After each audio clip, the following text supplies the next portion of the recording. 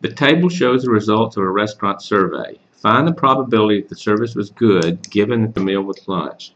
Okay, given that the meal was lunch tells us tells us that it's a conditional probability problem. The original sample space consists of both lunch and dinner, good service, poor service.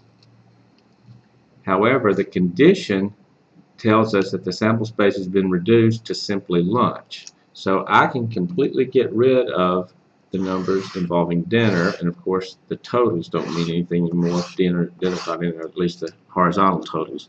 So my reduced sample space simply consists the first row of the table. So this is my reduced, what I call the reduced sample space for the conditional probability problem. We're looking for the probability the service was good. I'll use the letter G for good. Ah, just write it out. Probability that the service was good given that the meal was lunch.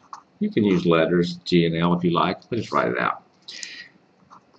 Within a reduced sample space, the probability that the lunch was good would be 34 good services over a total of 55. Again, if that reduced, you'd need to reduce the fraction, but 34 55ths does not reduce.